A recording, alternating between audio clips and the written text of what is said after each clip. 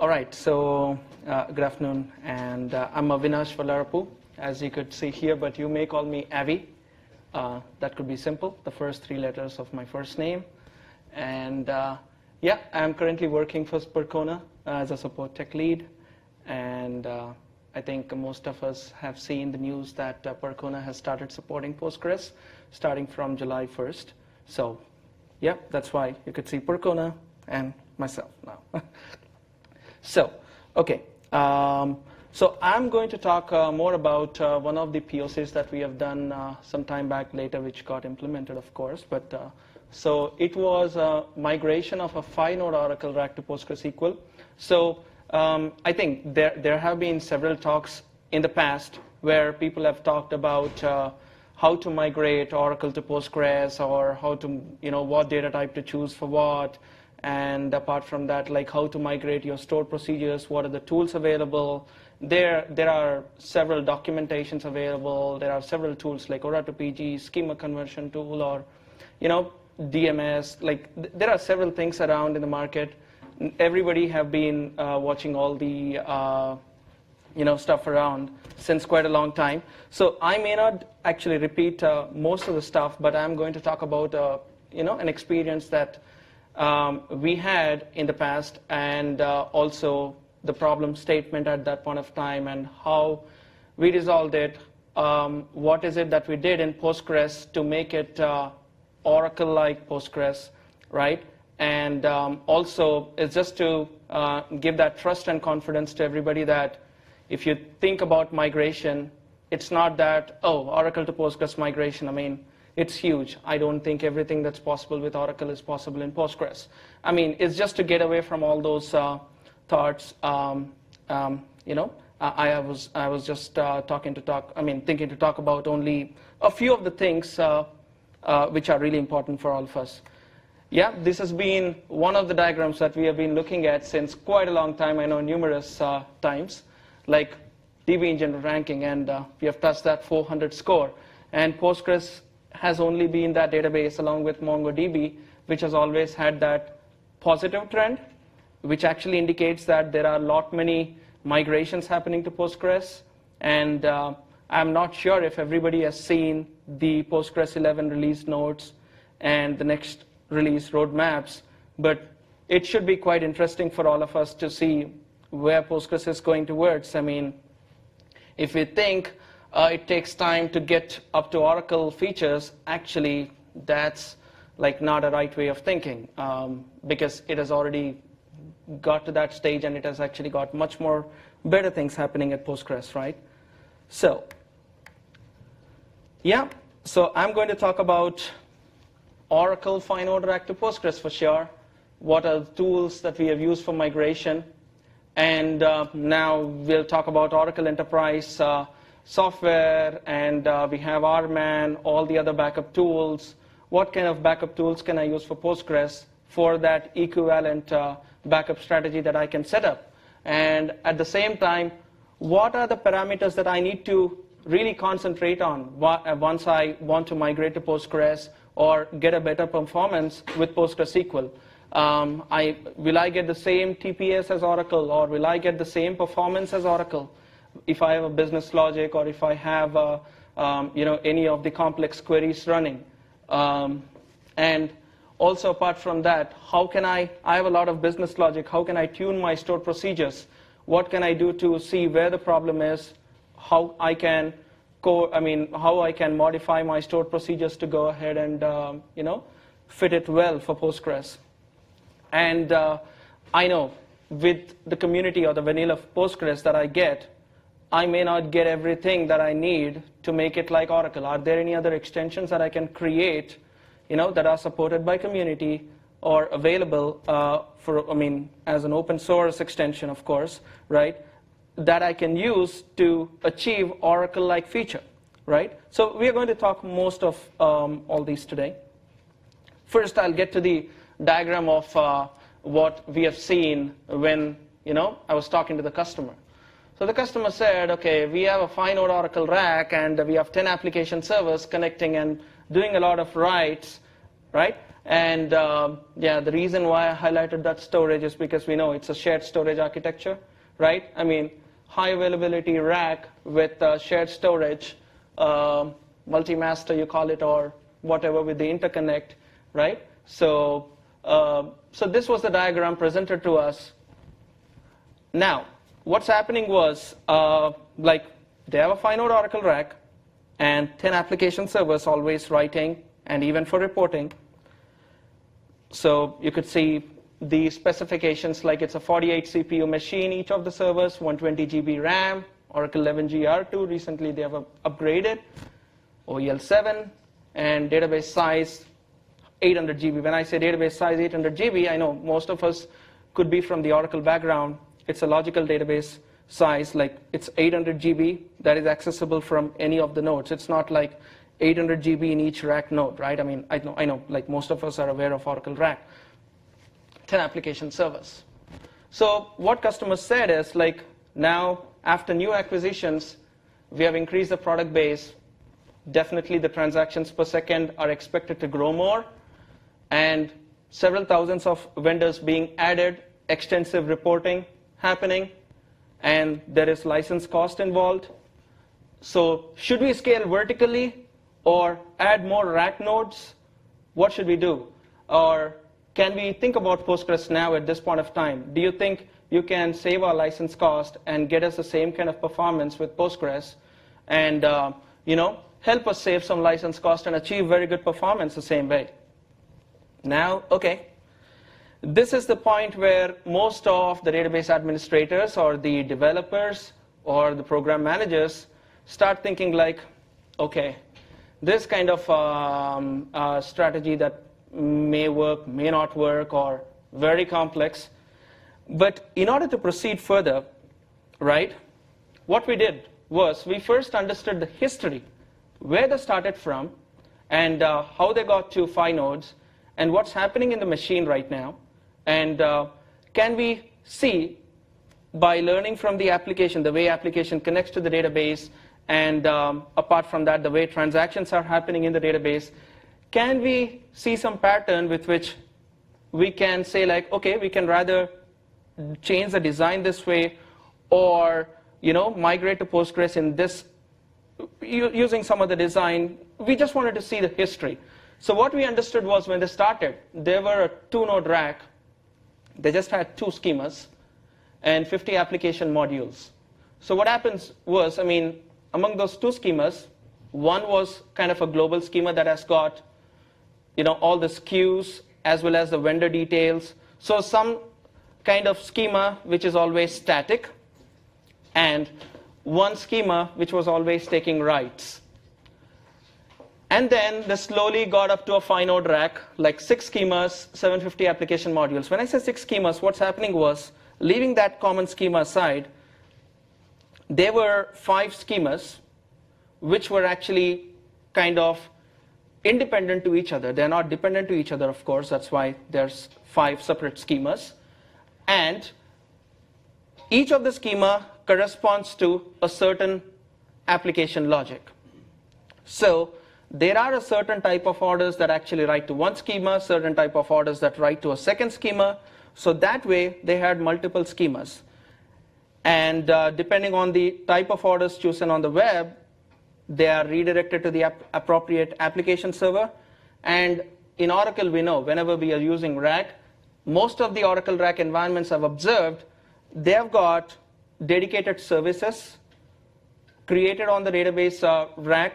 I mean, each of the service has got like preferred instance and an available instance. So for example, you have a five node RAC in this example, right? You have service 1, service 2, service 3, service 4, and service 5. Like you could see in this diagram, any application that's actually like, you know, uh, writing to schema 1, it will actually connect through service name 1, which has got, you know, node 1 as preferred. And apart from that, if in case node 1 goes down, it's redirected to the available node through the service name. So that is how high availability achieved, right? So what's happening is these two application servers, for example, are configured or you know, have got the logic to accept a certain type of orders request and have got application modules in place that write to a specific schema. And now it connects to the service that redirects the connection to node 1 all the time for schema 1. And now, if node 1 goes down, it connects to the available instance node 2, right? The reason why they have actually started writing to individual nodes is because they understood that over a period of time, after five years, like when they are trying to write to the same schema on multiple nodes, because of the interconnect or because of, or because of the global cache fusion, right? They were getting into a lot of contention issues, and they started writing to the preferred nodes. And now, okay, this was a history which was a kind of a good indication for us. Now, apart from the five schemas that actually take a lot of uh, data, I mean, a lot of writes, there was one global schema which actually is common for all the schemas. So when I say one global schema, it has got the SKUs and uh, vendor details and all that that is common for all the schemas. So all the transactions use that global schema and it depends on the global schema. Now, it they definitely need to write more. So will they vertically scale the server? Can we create one PostgreSQL node that actually can take care of all the writes and reads and have multiple slaves that can help a lot of reporting for read queries because you, you know that a PostgreSQL slave can take reads, right? Just like the Active Data Guard, or I mean, uh, just like the um, option that you have with uh, Oracle, like read only with apply the slaves, right? So, yeah, we were thinking to do that. And then we understood that over a period of time, they'll be writing a lot more. And we then thought about, okay, let's instead of thinking about vertically scaling it, see if we can horizontally scale it, right? And then, yeah, and then what we actually thought about was this design, right? And uh, so we have one database, one database cluster, which is with two set of slaves. I'll tell you why we got to this structure a little better. So we have one database for independent individual schema, like schema 1, schema 2, schema 3, schema 4, and schema 5. And for the common schema, we have actually got the application logic modified in such a way that, because it is just a 250 megabyte schema, which takes writes like hardly, I would say like once in a month or once in every quarter when there is a new vendor list added or new set of SKUs added, right? So we modified the application logic. I mean, we suggested them to modify the application logic to write to all the databases the common schema, just the common schema, which is actually not a huge load for them. So now we got away from that RAC to kind of every schema has got an independent database cluster with two slaves. Right? So before going there and explaining you that more, right? What are the steps that I feel as, you know, are actually involved in a migration? First is a design. We definitely need to understand how the existing architecture is, and then see how we can actually, you know, go ahead and think about the current existing application architecture, application layer, see how we can modify that to see if we can improve it or like it's, it's definitely the existing architecture and the history that's very important to go ahead and proceed with the design as we discussed. And then business logic conversion.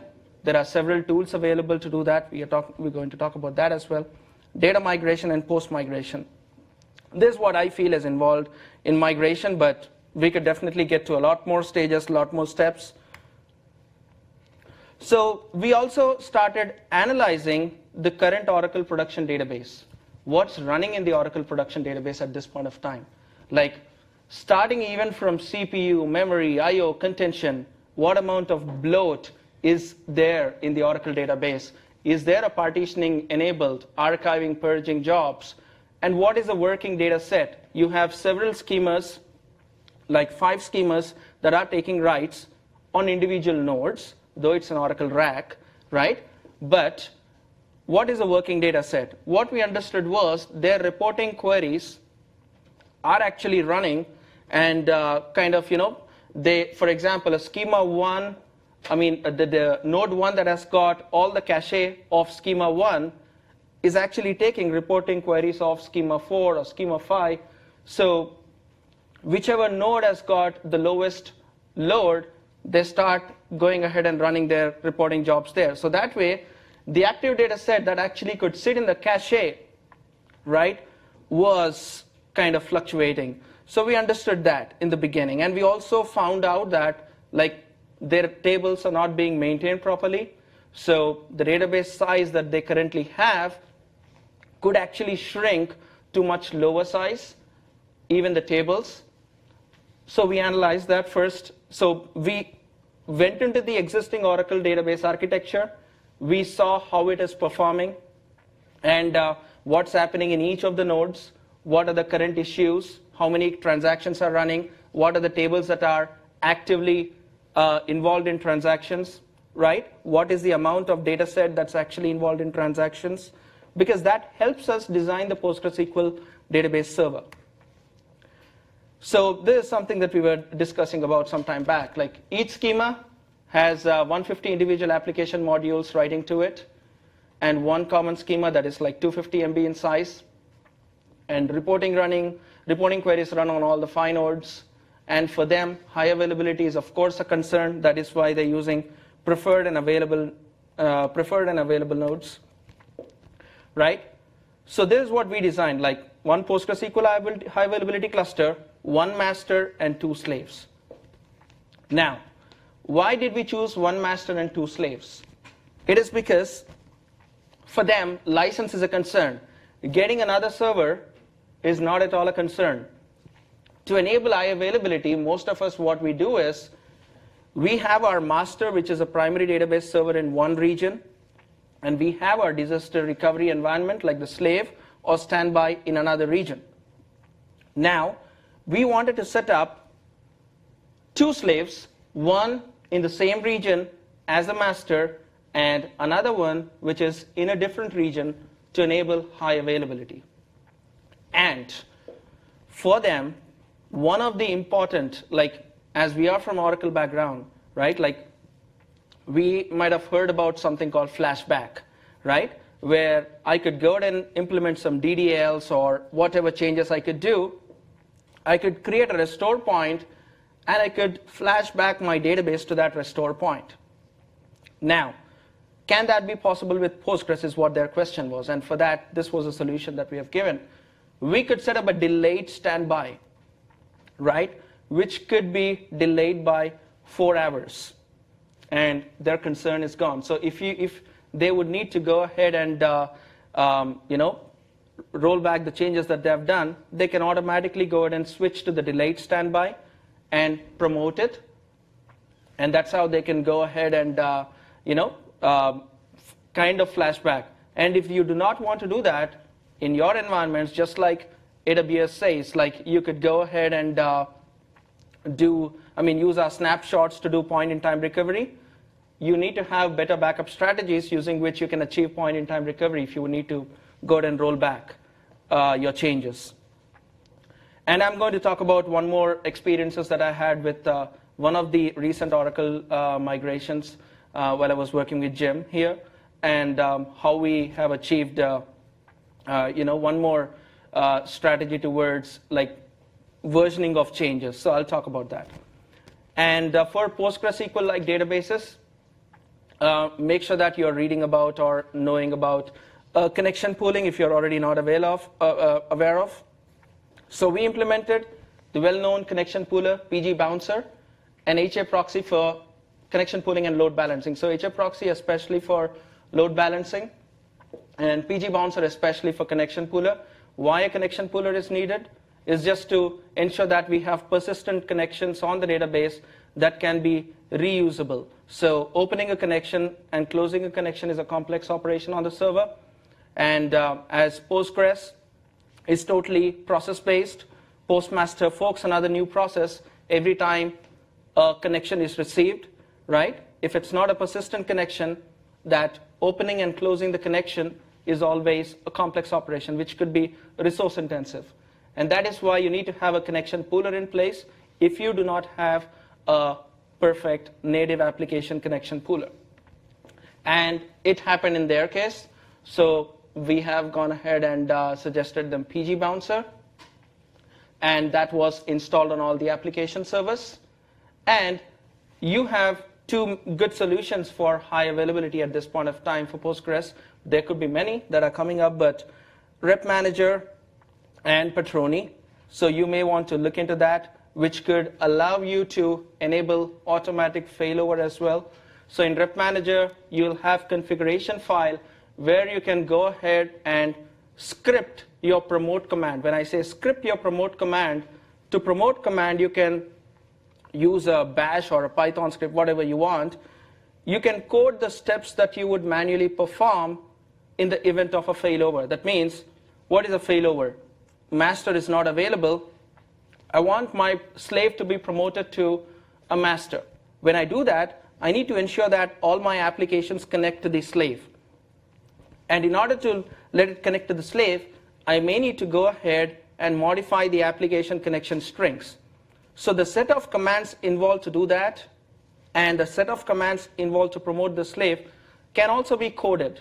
And all that sequence of steps can be written as a script and passed to the rep manager. When the daemon detects that, it, it actually um, detects that you know the master is not reachable, it can go ahead and run that script as well. So depending on the environments that we are working on, we could modify our scripts in such a way.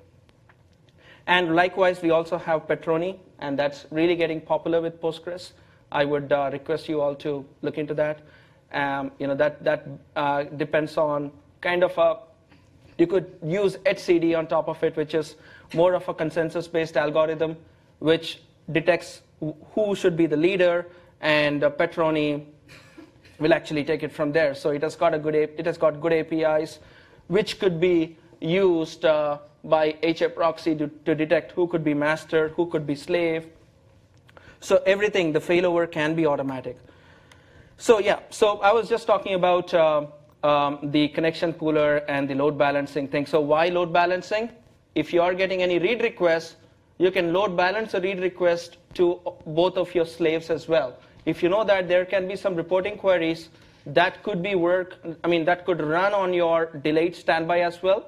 If it's trying too look for some data, which is a day ago or more than a day ago, then it could actually be directed to even the delayed standby. And if you have any other reporting jobs that could connect to the slave, it can still connect. And I still remember the issue in Oracle, which is like snapshot to old error, because you maintain or we maintain um, a global undo image, the undo segments in Oracle. But in Postgres, every table has got its own undo, I would say, right? So uh, it's created as old, older versions, and uh, if Postgres understands that there is no such uh, query that's actually depending on that older version, that's the only time when it could actually get that off the table. I mean to say, there is a lot of process involved in that, like auto vacuum and the other things that we can read about.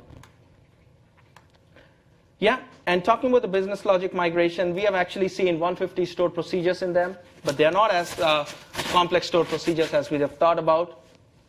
We have used Ora2PG.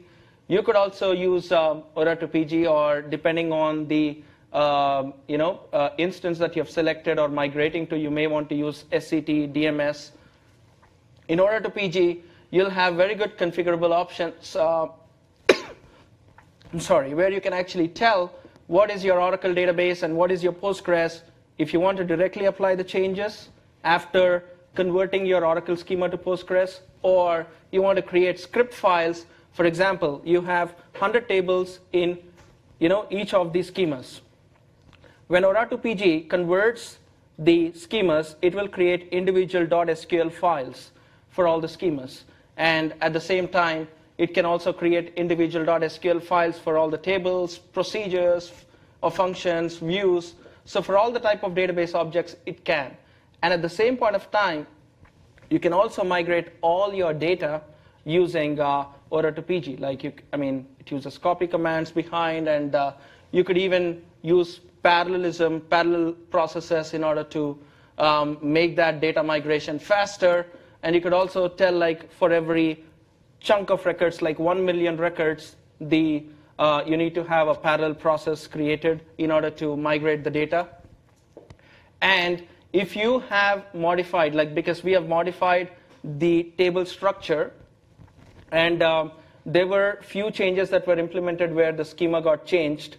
So we even use foreign data wrappers in that case, where PostgreSQL can talk to the foreign server, which is the Oracle server, and select the data from there and insert it into Postgres. So Postgres can talk to another heterogeneous database using foreign data wrapper, right? So that's, that's again something that you could use. And um, so you can, you can all look into, I mean, there are several presentations in the past too uh, that have actually happened towards ORA2PG, et cetera. So I didn't want to go more deeper into that and uh, bore everybody if they've already seen it. And then once we have done the migration, uh, like, you know, let's say all, all the stored procedures got converted, now it's not that all the migration is completed and uh, um, all the, uh, I mean, the entire database is actually ready for, uh, you know, like transactions. You need to tune it. And in order to tune your database, you need to have good resources that could actually help you do that. So if you're talking about stored procedures, how can I tune my stored procedures, right? You can explore more about PL Profiler. And uh, so that is um, a tool that could actually help you go ahead and look into the stored procedure call stack. When I say call stack, it's basically like every line of code, the time taken at every line of code or the SQL, you know, you could actually get an HTML report out of it, and you could understand what is that line at which the execution time is lot more.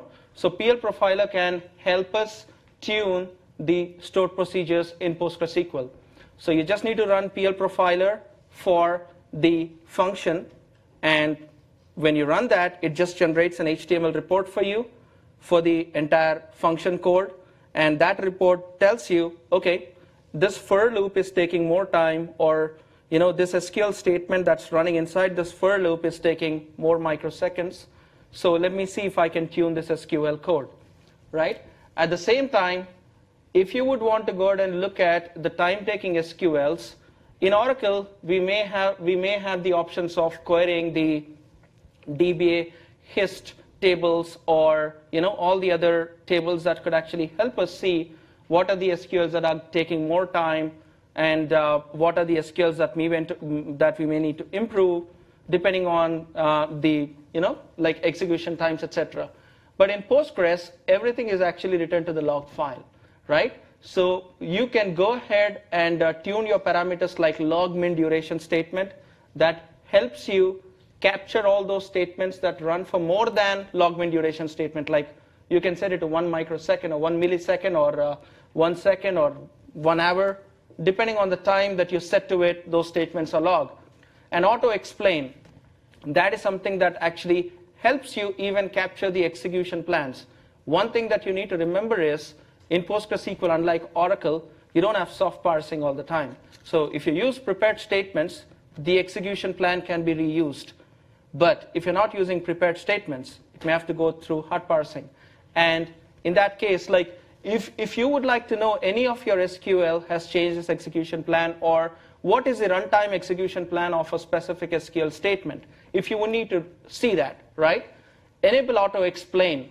So that would actually run and explain analyze output for you in the log file. So you can go ahead and let's say you want to run a function and you wanted to see what are the SQLs running inside it and what are the execution plans of individual SQLs enable like session level auto explain and run that, end the session.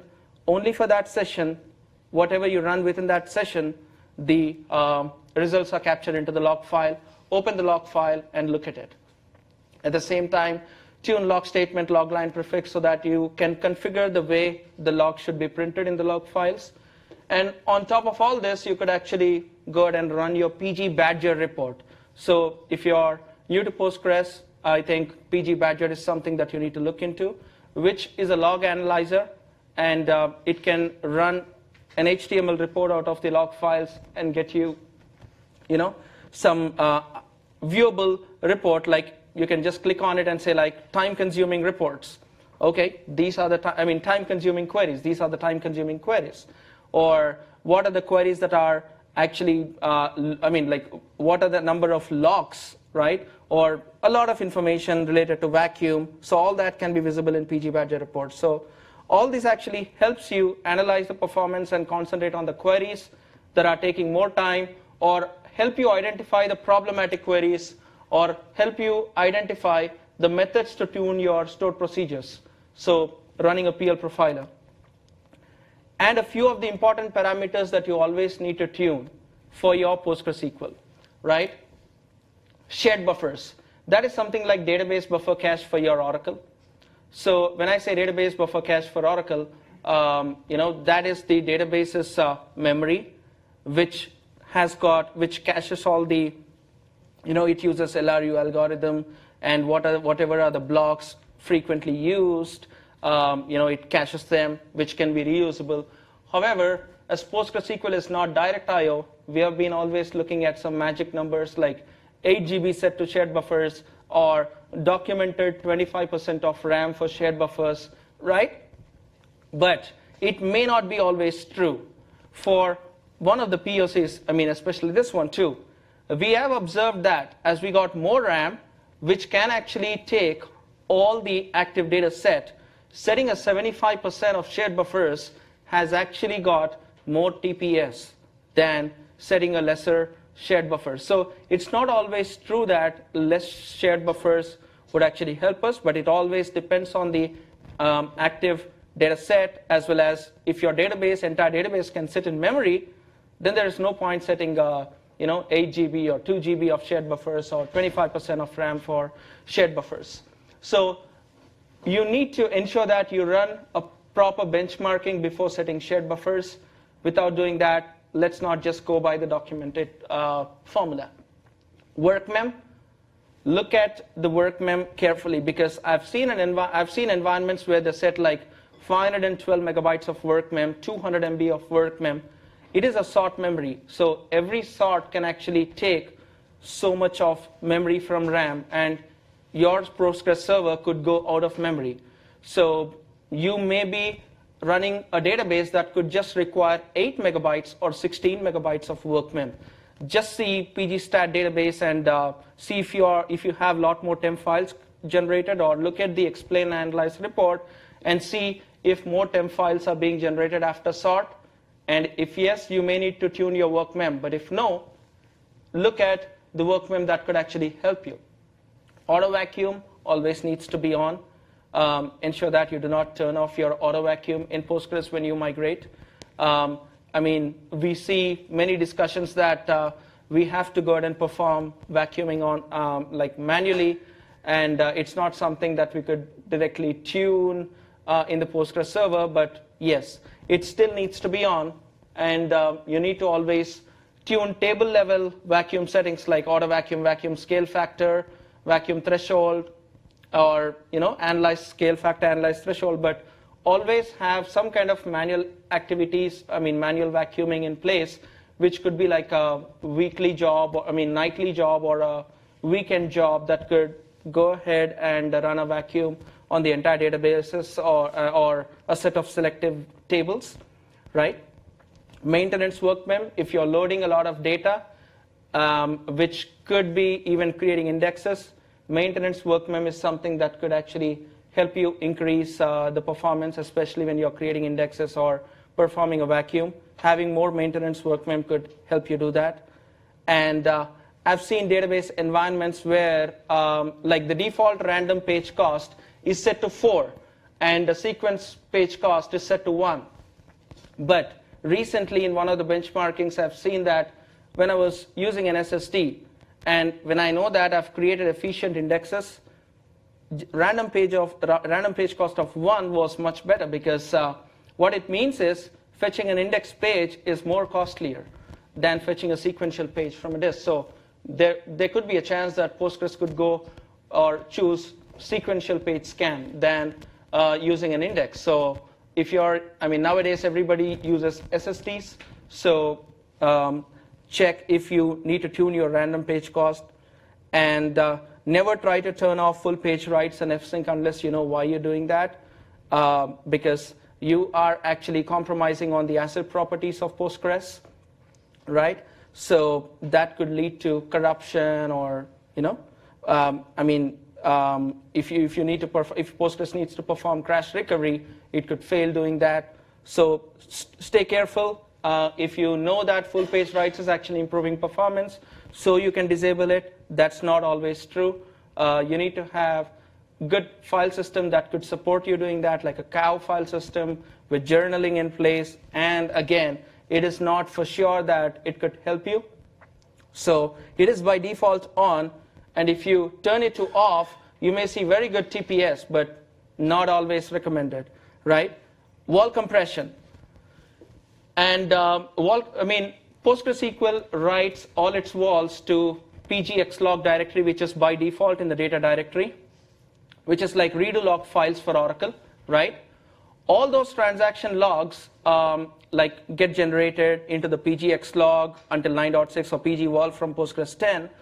But I've seen in uh, OLTP environments where it, if it's actually a write-intensive machine, it could generate a lot of WALs, and that actually takes a lot of IOPS on the machine.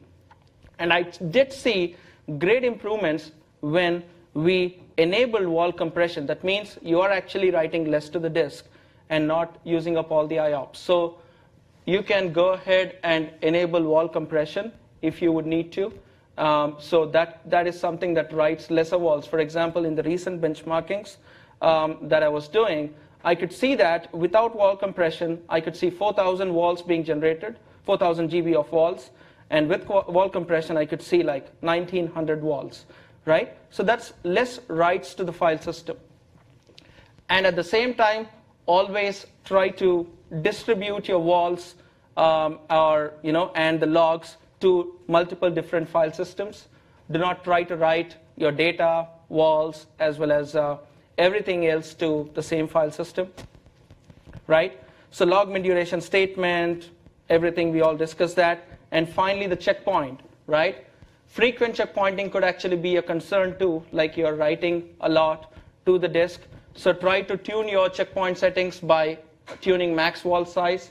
So the WAL size, the maximum amount of WAL that has been generated, after which a checkpoint should be forced, right? So we can set that to several tens of gigs even, depending on the amount of uh, transactions happening. And at the same time, checkpoint timeout is something that forces the checkpoint after that time. And checkpoint target timeline. I've seen environments which they, you know, they set it to 0.9 as checkpoint ta target timeline. What it means? It means if checkpoint timeout is set to one hour, it means, and when checkpoint target timeline is set to 0.9, Postgres has 90% of time before the next checkpoint to perform the writes, right? Like 90% in the sense like 54 minutes more in order to, you know, scatter the writes after the checkpoint. So that is kind of something that, I mean, you're not strictly writing or flushing the disk with all the writes immediately, which could get you into performance issues. So it's distributing the writes. Um, and uh, hot standby feedback, right? some of, I mean, some of the times we have seen customers complaining like any reporting queries I'm running on Postgres slave are getting terminated uh, because of some vacuum running or a DDL running on the master. Because master does not know that your slave is actually needing them. So in order to avoid that, turn on hot standby feedback and even explore max standby streaming delay and archive delay. Um, that could actually help your slaves do not kill the long running transactions if there is any change happening on the master. So all these uh, are very important. And now, question will be like, is everything possible on Oracle available with Postgres? I would say it is like, um, um, it, it may not be readily available, but we can create it for sure. So when I say we can create it, for example, I'm not sure if everybody would have worked, um, uh, heard about edition-based redefinitioning in Oracle, right? There was one such feature called EBR in Oracle, which helps you, for example, you have 10 application servers, and you want to deploy some code changes into the application server. And now that code changes could have also got relevant database changes. Now, to avoid the entire downtime for all the applications, you may want to first run your code changes on the first set of five servers and restart them. And when you do that, you need to also run some associated database changes. But the other five application servers, which do not have the code changes done yet, should be able to see the past image of the database. That means it is versioning in the database, just like GitHub. So I should be able to see one branch, and another app can see another branch. So that is something called edition-based redefinitioning that's available with Oracle. So when we were working on another project, like um, I have uh, Jim here, who actually suggested uh, at that point of time while I was working with him, uh, this way we can achieve it. So what we have done, we have used event triggers, and we have used search path and got all that uh, magic done. So what we did is, on an event of an alter table, right, like an add column, drop column, or create index, create sequence, drop index, we have found all such DDL statements that could really trigger some change to the database. And if that event happens, we have created views using which, you know, like your, so what, what we have done was like just to, um, I mean, that could be a very huge topic, but um, for every schema that we have, we have created some kind of a edition schema, because in Oracle it's called editioning, right? Edition schema, that is a parent schema that has got views created on top of the exact schema. And also for every branch or every version you create, for every change or a DDL that you implement, for that table or the object for which you have implemented a table, I mean a change, it will have another view created in the new child schema. And your database, when it starts to connect, it needs to run a function in order to know which view it needs to connect to. So it's, it's based on all views, event triggers, and uh, search path. So it's just to tell that you know uh, everything that you want is possible. So we were able to implement versioning and even, versioning in PostgreSQL, right? History. Can I look at what's happening in Postgres, right? I have pgstat statements for sure, which actually is a counter that you know that's an extension. Once you when you create it, you can view or query the pgstat statements, and you can see what are all the SQLs that I've run so far, how many times have they run, what are the total number of executions, what is the total amount of time, minimum, average, shared, blocks, hit, local buffers hit, all, all the details are there. So you can snapshot that and have snap IDs created for every snapshot you collect and try to you know, differentiate between each snap. So that way you actually know more about the history. So flashback, I already discussed about the delayed standby and point-in-time recovery, and other few extensions, PG buffer cache to see what's inside the PostgreSQL shared buffers, what tables are actively cached and used, what amount of table is already cached, PG pre-warm to warm up your cache in Postgres, right? PL profiler, important tool to tune your stored procedures, PL debugger, PG partman for partitioning, um, you know, until 9.6. And uh, again, partitioning since 10, Postgres 10, declarative partitioning, and even PostgreSQL 11, not yet released, but uh, you could see once it's released that uh, it also supports hash partitioning. So a lot of advanced uh, features have been um, already being developed, but um, it's just that everything that we think, we can make it possible. Um, it's just that we need to have a requirement, and we need to think about you know, the solution that we could put in to achieve it. And finally, the backups that we proposed, PG-based backup. You can also use backup solutions like PG Backrest or PG Barman, right? But you, you have RMAN like, I mean, it may not be parallel, but you have something like RMAN by default, like PG-based backup. And continuous archiving and PG-based backup could actually be a good backup strategy for you. And also have weekly PG dump and PG dump all in place to ensure that you're able to select or query your database and uh, ensure that your database is not in a corrupted stage, right? So if your PG dump is successful, it's not, it means that your database is not corrupted most of the times. And something like DBMS redefinitioning in Oracle, which rebuilds a table online, you can use PG repack that could actually help you rebuild a table online with some limitations, of course, and routine manual vacuuming, partition maintenance, reindexing, and archiving purging jobs. This is something that could actually, uh, these are a few of the maintenance operations that we've observed, you know, that could help you keep your PostgreSQL healthy. So what we need to understand by all these exercises, it, I might not have actually shown you um, how to use a specific tool or etc. But it's it's just that um, you know you you have a few extensions that actually help you achieve similar features as Oracle in Postgres, and also in order to uh, go ahead and keep your PostgreSQL up and running or tune your PostgreSQL, you do have a few extensions that allow you to do that. You have similar backup solutions as Oracle for Postgres, right? So even warming up the cache or talking about tuning your uh, SQLs or profiling your functions or you know anything. You always have all the tools around it that are still in place. And even to migrate your business logic, you have tools. So yeah, just to help you understand that uh, if you're new to Postgres and if you want to get away from Oracle, um, it's not that it's complex, it's just that we need to think and start doing it. That's everything from my side.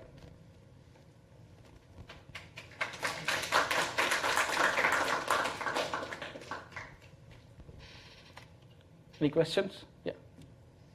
So, um, I mean, is it fair to say, I mean, it's a very extensive migration that you've done. So, so is it fair to say that the main motivation was the saving in licensing costs? Because there's not a performance issue that, that you have to deal with.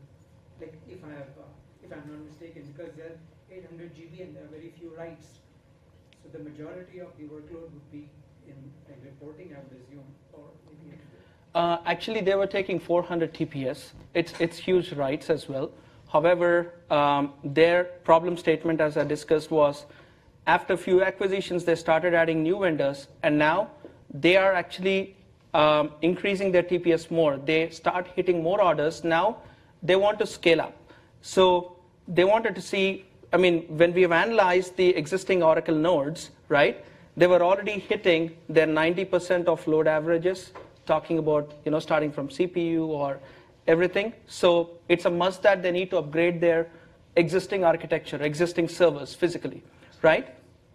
So now they were kind of should we vertically scale it up or should we add more nodes and um, scatter some kind of transactions to more nodes? But when we start writing to two new I mean one schema from two or three nodes, we had some contention issues in the past so we don't know what to do. And at this point of time, do you think we can also think about migrations to Postgres and try to tune Postgres to take this kind of uh, load? So it was not just the license cost, it was also scale up. So a lot of things involved. So at this point of time, they wanted to see if we can give a try to Postgres and achieve the same features with Postgres. We know we can achieve this with Oracle.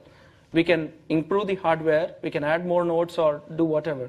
But can we migrate to Postgres and reduce the cost, at the same time achieve the same features, you know. So that, that's the main reason why um, this was in progress at that point of time. Sorry, just a follow-up question. I mean, did you do the migration in parallel, which means the existing hardware and the OS was there, and then you had a... Oh, yes, yes. We got new servers and switch, and then decommission the old servers, yes. So the, I mean, the hardware and the OS were the same there are changes actually. There are changes. I mean, not much change. It belongs to the same family like Red Hat, OEL, CentOS, so we use CentOS. So like when you say vendors, I'm assuming it's kind of a hosting, uh, because you say like it added more vendors, so, I mean, was it the manufacturing organization? Kind of manufacturing and e-commerce, especially e-commerce, yeah. Yeah. Yes. Uh, was there a specific reason you had two slaves? I, you might have said it, but I have missed it. Why there, why there was this decision to have two slaves per? Yes. So to enable flashback-like features, um, they were interested in also getting a delayed standby, right? So when, I'm say, when, I say delayed standby, it could be a standby that could be delayed by four hours of, you know, WAL apply. So it is like if you if you look at the master and the first slave, right? The data that it has got may not be in the third slave, right? Because it's a delayed standby. But that actually helps faster point in time recovery or a flashback mechanism, like Oracle. Yes. And for the switchover, how much, uh, what was the window of time that you had? Oh, the switchover, as I mentioned, it was like six hours, I think. Yeah. Okay, so six hours when you pulled it out of, out of Oracle Yes. and uh, started uh, on the new servers. Yes, exactly. Yeah, but the cutoff usually every time when, when it's a huge migration, right? Um, it it is a huge cutoff for sure. But there are, I mean, like in the past, my friends and um, I have experience with even like you know Jim, and there are too many people who have used like uh, um, you know external, uh, even open source or the other tools like um, you know even. Uh, the Pentaho or other ETL tools that actually help them create jobs that could migrate the data while the Oracle database is running and be in a sync. And even you can use Oracle's Golden Gate too, right? That can be a replication kind of thing. So it depends on the um, you know uh, client. If they can achieve, I mean, if they are okay with the downtime, we could make it much planned. If they are not okay with the downtime, yes, there are solutions. Like people have used Golden Gate, people have used Pentaho, and other ETL tools. Um, you know that could help you create some jobs to replicate data. Yeah, I have a question. sure. Yeah, so like uh, in Oracle, we have DBMS job or DBMS scheduler. Yes. To submit jobs from a procedure. So I can run a procedure function and I can submit a job. But in Postgres, we have PG agent, but there is no way to actually call PG agent from procedure or function. Is there any way? Because like in our application, the requirement is users actually submit the job or they change the schedule. It's not DBAs who are doing that. So is, do you know any equivalent thing of DBS underscore job or DBS underscore scheduler in Postgres?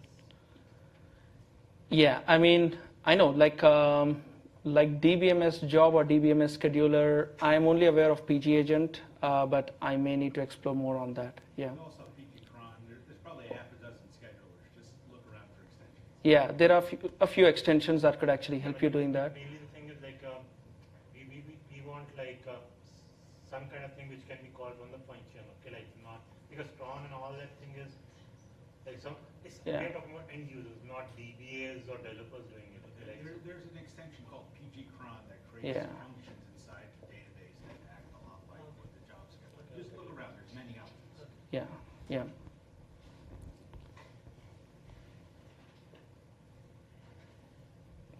Hope no questions anymore. Okay.